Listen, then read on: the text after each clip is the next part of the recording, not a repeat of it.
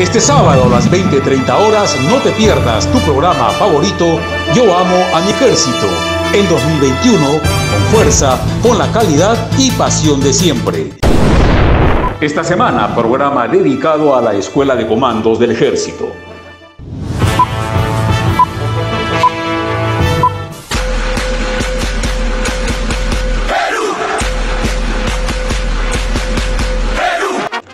Perú mantiene esperanza de asistir al Mundial Qatar 2022 al derrotar a la selección boliviana.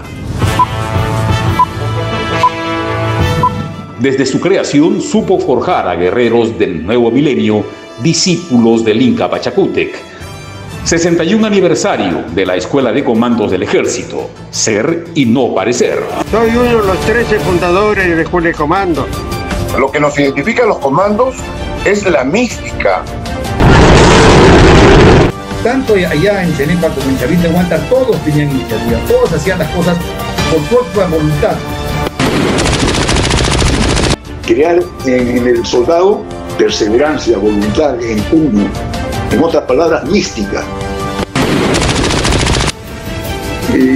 prácticamente el ser comando marcó mi carrera en la institución. Pero algo que nunca debe de cambiar en nuestros comandos es todas aquellas cosas que nos han enseñado nuestros instructores. Siempre tiene que liderar con el ejemplo, a fin de lograr el efecto espejo.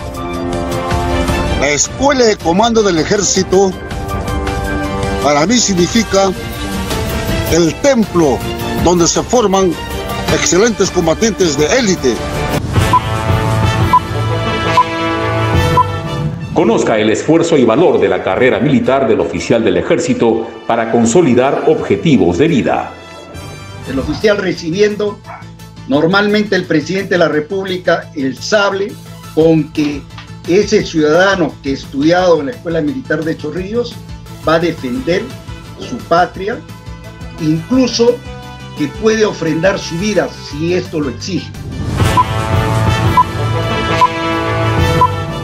En la secuencia Fuerzas Armadas en Acción, lo último del acontecer noticioso de la Marina de Guerra del Perú y Fuerza Aérea. Soldados y combatientes de las operaciones militares de la Cordillera del Cóndor en 1981 expresan orgullo por haber servido a la patria. Cuando nosotros nos dejan en, en el P-22, y ahí ellos se van al PB4 nuevo, entonces ahí fue en donde que Polanco Pacheco y el, y el capitán Julio Ponce Antonio Mayolo, ahí en donde que caen. Esto y mucho más en tu programa favorito, Yo Amo a mi Ejército. Este sábado a las 20.30 horas y domingo a las 10 de la mañana.